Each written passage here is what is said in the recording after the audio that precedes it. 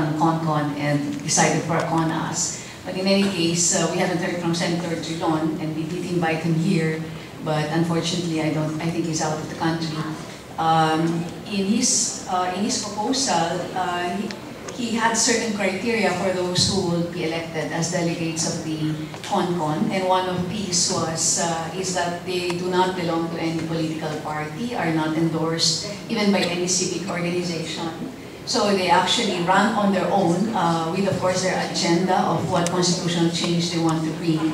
And in that sense, uh, could ensure a non-partisan, a less, less political, politically, you know, when we say politics here, we actually mean the uh, politics of the moment uh, with the political alignments according to the power balance. Um, uh, a more non-political uh, process and something that would be more legitimate in that sense because it's not driven by short-term vested interests of politicians and uh, political parties. So uh, I think there's an additional clause about not being related to anyone who ran in the last election and uh, it's an incentive you know, it's, a, it's some kind of a level the playing field so that uh, not the usual suspects actually come in and uh, basically makes elections for CONCON useless because you have the same kind of people anyway that you have now in Congress. Um, but the question really has to do with that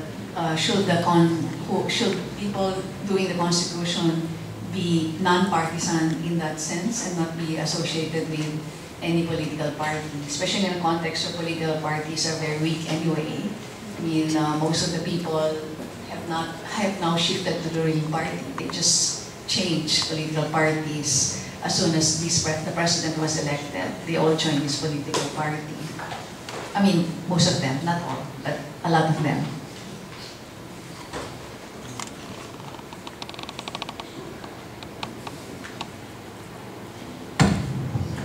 Thank you very much. A, a very interesting question uh, that I fear I'm not going to be able to respond fully because I don't know the Philippine context um, of course, as well as, as you do. Um, I think one of the interesting things that came out of this two-day conference uh, yesterday and the day before was the need for, uh, for this political party reform bill to go through.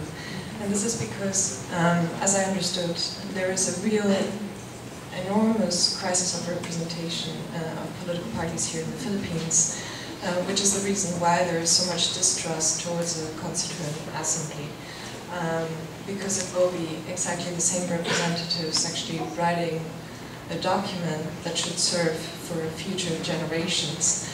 And people, as I understood, are not that very confident that those politicians will have the greater good in mind and rather have their own uh, personal interests in mind. Um, so in that sense, I completely understand the question of should uh, the, the, Constituent Assembly or the people drafting uh, the Constitution not be politically related. Uh, usually the way it works is with, with a commission, um, a commission is a commission of experts uh, that most of the times do not necessarily have um, links to political parties. And so it would not be very far-fetched to actually um, put in the TORs of this uh, Constitutional Commission uh, that they should not have any links to political parties. On the other hand, as you said as well, political parties here in the Philippines are very weak. Um, so the ideological basis that would sort of underscore um, these uh, members of this Constitutional Commission as being members of political parties would really not, not be there. Um, so it's rather about ensuring that those people part of this commission uh, would have this great good in mind, uh, would be people that actually know what they're doing, are experts in whatever field is necessary um, for this drafting committee, um, rather than perhaps um, being too stringent about uh, those criteria like not being a member of a political party. I would prefer to have a member of a political party um, if this person is capable of actually writing a good constitution and is capable of, of looking ahead uh, to future constitution, uh, to future generations and what they uh, might want to see in the constitution, uh, have someone that is not a member of a political party, uh, but maybe is not able either uh, to look at the future. So this would be my response, which is not. Yeah. Um, well, um, maybe just from the context of Myanmar, I mean, I, think uh, that reflection that uh, a, constitu uh, constituent assembly can still invoke um, input and participation from a wide range of stakeholders. So it doesn't have to be um, you can have a kind of hybrid approach, I guess, within within the parameters of a constituent assembly would be my um, observation, thinking about the way things seem to be developing in Myanmar in terms of the debate around how to reform um, a, a rather problematic constitution there. Thank you. I think the question is excellent and, and very intriguing. Should the constitutional drafting be done by politi politicians or non-politicians? And from my vantage, vantage point in Finland and Europe in general, I think it would be most unusual if not politicians were involved. However, there's an interesting example of Iceland in this, uh, in this context, where the population grew totally disillusioned with the politicians, basically kicked them out, together with the bankers who drove Iceland to bankruptcy, practically speaking. And, uh, and they wanted to have a new constitution. What did they do when they were so tired of the politicians? Well, it actually uh, it actually ended up being a, a, a, social media project where, where the population sent in their preferred proposals to, to, to, to constitutional provisions. And, and, it was a very open, participatory process. Um, still does not have any new constitution. So I guess that there's a problem with that sort of process somebody has to manage it in the proper way, but, but I still uh, would think that there's a lot to be said about also direct popular input to the process, which would be somehow caught up by those who draft the constitution. So why don't your students also, while studying the, the old constitutions, uh, write the draft yourselves and, and submit it?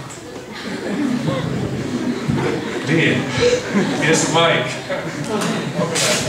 I think that's nervous laughter because we have, uh, we have uh, maybe two more months into the semester and I can still consider that being part of the assignment for the semester. So, so very slowly, I'm, I'm seeing either averted eyes or uh, nervous laughter or... Uh, it's my assignment for my political science 14 plan. So, I just to share, but um, in one of my classes, we didn't do a rewriting, but we did an exercise at the beginning of the class that would effectively ask groups to draw up. Um, well, they didn't know it at the time, but it it actually asked them to draw up certain rules around governance, resource sharing, but it was intended to introduce the subject, meaning the subject is not just a matter of reading the provisions, reading the cases, and then, but hopefully introduce the subject as very important because it, it is uh, the structural organization of government uh, with which we deal every day uh, for our most basic, basic needs. Um, I'm not sure which version that I had read, but there was one version that uh, was shared with me um, which would permit those who have, even those who have been elected to office to participate in an election, but then they would have to, as part of, I think, submitting their, their candidacy, um, of course, forfeit the seat that they won,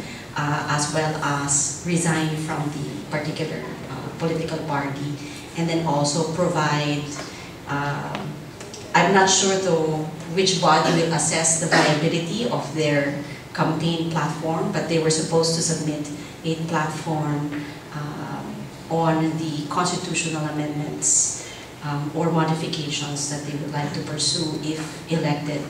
Um, I think the rationale behind it is that we cannot foreclose um, the participation entirely, particularly those who um, although they may now have shared in the notori notoriety of the political interests in Congress, uh, do not necessarily have uh, those uh, vested interests and have demonstrated a capacity for um, an appreciation of the function of a constitution and therefore would be able to viably participate and contribute to the work of constitution making. But I'm not sure now whose version that is that, that, that I had read.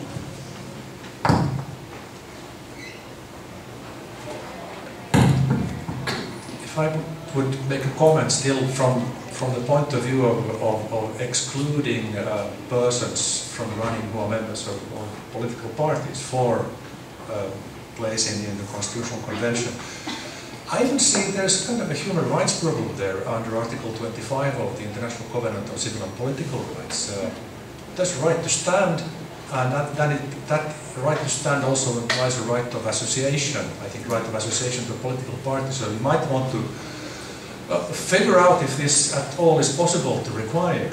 I mean, to, to, to, to require that the person is not a member of any party, any, any political association. I think that there may be a complication there. One, one more comment. Um, I just came from last week leading a workshop in Yangon on um, education and federalism. So this was just one particular sector, education, and it was working with members of the Karen community. And as you probably know, Myanmar is characterized by a high level of ethno-linguistic diversity. The Karen are one of the main nationality groups.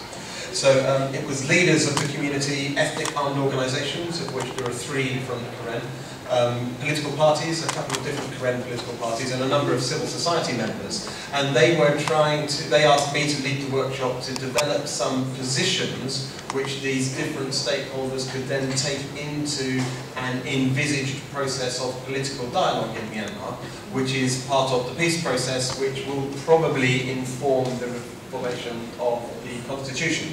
Anyway, the being that the, the way that this group chose to approach things, which seems to be quite valuable, is of course, there's, even within this community, there's such a variety of different opinions and different levels of knowledge regarding the issues. So we've worked towards developing some principles. We broke down the education sector, primary, tertiary education, for example, different types of education approach, and to develop some common principles for the group. And among very diverse stakeholders working on issues which the actual, I'm presuming, the actual writing of a constitution requires a high level of technical legal competence, but I think you can still have a much larger input that's framed in terms of the principles within which uh, a constitution can then be developed.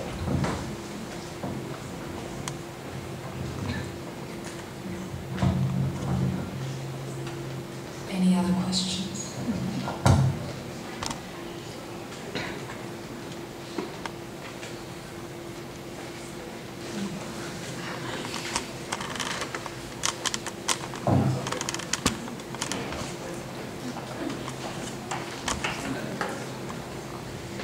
Uh, My question pertains to the, the neglected child of this, this current dialogue, this current conversation on constitutional amendment. Um, the economic rights, or the economic provisions of our constitution. Um, it's, yeah, it's understandable that in the hierarchy of, of rights, economic rights are given um, less priority, you know, are, are considered below political and civil rights. Um, nevertheless, I think a good framing, framing of the economic provisions of the Constitution can lead to a better economy, which in turn will, will allow Filipinos, allow citizens um, better access or better enjoyment, full enjoyment of their civil and political rights. So my question is, you know, we, all, we all are aware of how the economic provisions of the Philippine Constitution are structured. We are aware that these, these provisions were actually introduced way back in the 1935 Constitution. And we are aware of this view that, that these provisions have functioned as some kind of straitjacket, um, straitjacket against economic development.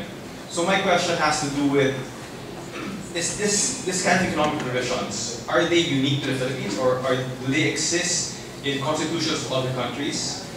Um, do you believe, that's the first question. Second question is, do you believe that having such kind of economic provisions or economic provisions in general in constitutions, is this a, is this a passe concept?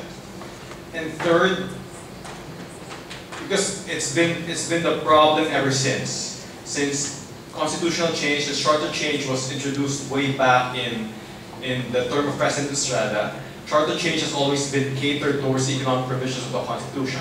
And it's never happened. In case this exercise in constitutional amendment still does not bear fruit, is there, what are extra constitutional measures that have been undertaken by other countries to veer away or to, to, to circumvent economic provisions that are stated in the Constitution? Thank you. Can you specify what those measures, what Okay. those provisions are? Okay, these measures have to do with measures that limit foreign equity or foreign participation in select sectors of, of Philippine, the Philippine economy.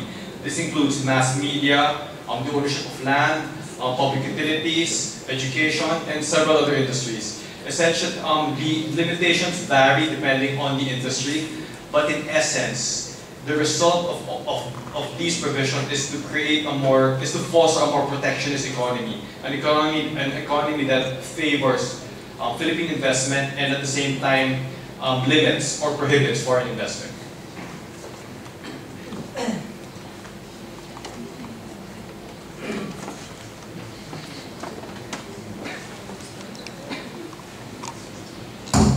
This is absolutely not my field of expertise.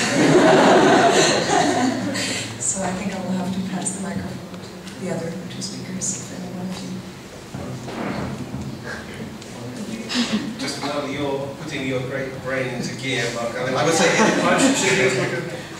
my comment would be very brief. Um, that Thailand um, has many of these provisions. I think that often foreign investors find semi-legal ways of getting round. For example, the Thailand constitution makes it very clear that foreigners cannot own land or property. And uh, not me personally, but I know a few people who basically own houses, they own land. I mean, partly it's through informal arrangements with uh, Thailand citizens. There are different complicated legal structures where the land is leased for a very long period of time, the buildings are owned by the individuals, so it's a very partial answer because it's not really, I think, satisfying the question. But I, I think in Thailand, and this is beginning to be the case in Myanmar, there are grey areas which uh, people can exploit. Inland corporations as well.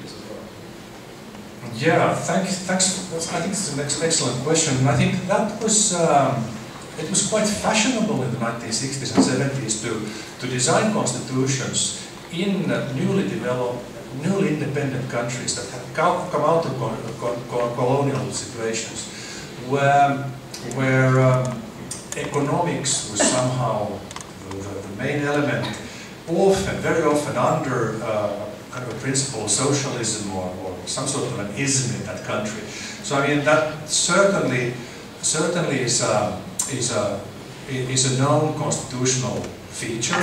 Has been very common, I think, even, and, and there is also some uh, international uh, uh, treaty law that that uh, tries to create equity between developed countries and developing countries in investments and protection, but also in protection of investment. So I mean, this is a bundle of, of issues that law has tried to cover and, and deal with in, in many ways. Um, and, and there was um, even an academic uh, discussion about uh, about uh, uh, so to say the sovereign uh, country's right to own its natural resources and even even the right to self-determination in, the, in, in Common Article 1 is to some extent geared in, in, in subsection 2 towards this sort of economic issues. So I mean, uh, there's certainly kind of a tendency uh, from, from before to, to have, to make possible this sort of, of economic arrangements. It's nothing new. Uh, but as was said, um, foreign investment is normally important for different countries and, and, and where these sort of inhibitions have been in place, ways and means have been found to circumvent them. There may be some sort of uh, crony companies established in the country uh, that fulfill the legal requirements, but then you know the traffic traffic otherwise or, or capital is free, or if the, if the, if the traffic of capital movement of capital is somehow restricted, uh, ways and means of, of, of uh, exchanging the commodities have been found that actually result in the same. So no country has been really very successful in maintaining that sort of regimes. And I trust that's also the case in the Philippines. Those who there's always a sector of, of trade that in fact profit from that sort of limitations. But that's unfortunately not the, the fair trade. That's not the regular, normal, uh, normal interaction in trade terms that profits, but rather the, a sector which is a bit grey or brownish or, or what have you. Uh, now, um, socialist countries, also in Europe, tended to have that sort of, of limitations. And, and, for instance, in Russia, this is still the case. For instance, in Russia, I cannot go to Russia and buy a piece of, of, of, of, of land there just, just as I wish. I would uh, think I would need to establish an incorporated entity in, in Russia with a certain investment from my own part, on my own part, and then buy it in the name of that Russian legal person. It's not possible in China either, so we have tons of countries where this is still limited very much. Uh, now the European Union has tried to get rid of these, uh, these sort of limitations, uh, but, uh, but is not entirely um, uh, successful in that because it recognizes also certain specificities in member countries that may apply and, has granted some exceptions. So for instance, in order to protect the Danish coastline from being bought up by, by German uh, Germans who are like 10 times more than, than, than the Danes uh, and put up summer houses everywhere in Denmark. Uh, EU has made it possible for Denmark to have an exception that, that actually bars selling of, of beachline properties to, uh, to others than Danes. Uh, in Finland we have the autonomous area of the Åland Islands, where only those who have the regional citizenship of the Åland Islands can own real property. Uh, that, that's an arrangement that dates back to 1922, actually, 21, 22. It would not probably under human rights regimes of today be possible to set up that sort of a limitation of the ownership of real property. But that was done in 1921, 1922. Uh, and, and, certain indigenous populations, for instance, in the Nordic countries, in Finland, uh, the Sami uh, population has a certain have, certain like small, slight regimes of, of, of, of that, that inhibit uh, conveyance of, of real property uh, and so on. But, but these are clearly very slim exceptions. So broadly speaking, uh, the, the the tone of the day is to get rid of all of these sort of regimes. And this is in particular the, the, the, the object of all sorts of trade uh, organizations like the WTO and, and, um, and, uh, and the North American um, Free Trade Association, etc. Precisely to get rid of this sort of inhibitions on trade. Because inhibitions on trade benefit someone, but it's normally not the regular person but, but some other uh, business interest that has nothing to do with the, the regular life of normal people. Just a curiosity, because in Denmark, while it's not possible for Germans to buy off the coastline, they can actually create little firms in Denmark. And through these little firms, so also in Denmark there are loopholes. Um, and through these little firms they can actually buy land and houses and all the rest of it, which they are doing uh, very happily. I'm half German, by the way. but don't have any any lands there. just two quick points. One is I'd like to use the question as a way of linking back to the discussion on internal flexibility of the Constitution. And then number two, just a quick point on what we've done, what work has been done in the area of um, constitutional economic uh, or equity limitations. So on the first point, we had an interesting discussion earlier on constitutions, particularly of uh, more recent uh, vintage, for lack of a better term, having internal flexibility.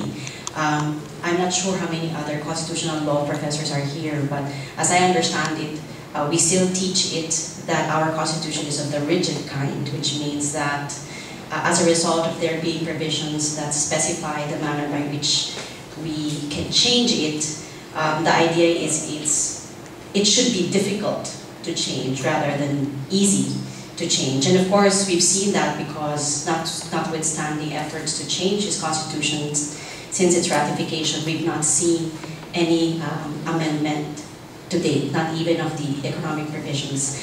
Um, and what I'd like to add there, and, and the economic provisions provide a perspective of looking at it, I think we derive some security from looking at our constitution as mandatory precisely because it's practically immutable, meaning uh, we feel secure that certain things that we don't want to change will not change because it's there.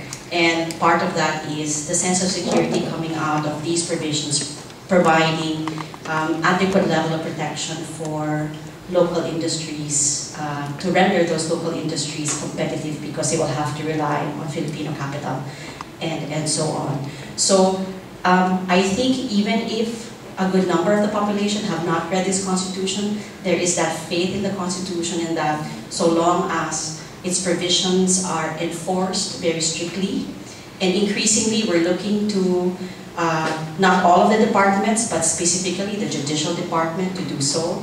Uh, we derive some sense of security. Um, even if in practice, as uh, the panelists have mentioned, we may see less compliance or more breach that looks like compliance to us. So, for example, in the area of um, equity limitation for public utility operation, um, one, the Supreme Court said, well, you know, that only applies if you're operating, not if you're owning.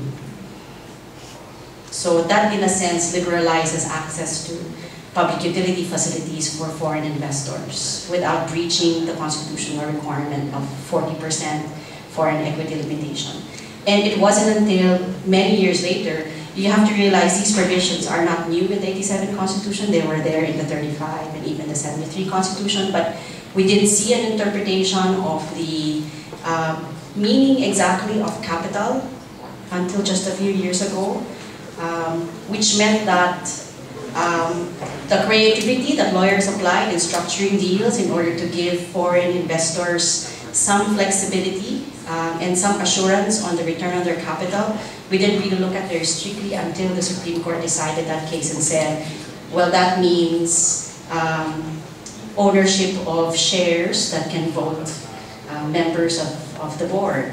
Uh, although now lawyers are arguing whether it really refers to legal and beneficial or only legal um, ownership. So, you know, we, we have a sense of security that we're enforcing these very strictly to protect local industries, but we, maybe we need to look at the numbers in terms of how investment is coming in which goes into the second point that I'd like to share with everyone here is, um, this isn't the first time, as I mentioned earlier, but it may be helpful for us to refresh the work that was done almost 20 years ago by the preparatory, um, the Preparatory Commission on Charter Change, PCCR, which was convened by former President Estrada. That particular body was led by former and the late Chief Justice Narvasa, along with our now Chief Justice Meloy Sereno. So the idea for that body was to actually look at the entire Constitution and propose changes, but because of, I'm not sure if it was budgetary or uh, time constraints, they ended up looking only at the economic provisions. Um, and one of the areas that they focused on was the impact of the equity limitations on foreign direct investment. And if I understand correctly, they found a correlation in terms of the level of FDI that we were receiving compared to other countries in the region, uh, making them propose uh, at the time uh, taking out entirely the Filipino first provision uh, in the Constitution and then recommending uh, changes to the equity limitations. Uh, more recently, we've seen Congress in the last, um, the last Congress, the 16th Congress, they actually already had a draft proposal to amend the economic provisions. And there are really two versions. One is to lift the limitations altogether. Uh, and the other version is, so sorry, the first version is to lift the limitations and then pass on the task to Congress. So Congress decides whether equity limitations should apply. Um, the other version is to keep the limitations that the Constitution sets out until such time that Congress decides to modify it. So for example, for public utility, one version says there is no uh, foreign capital restriction altogether until Congress legislates such a limitation. The other version retains the 40% limitation but then says it may be modified uh, by an act of Congress.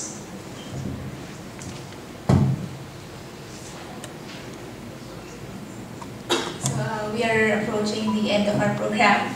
Um, we, uh, we, we were able to um, access the website, ConstitutionNet, so maybe before we close.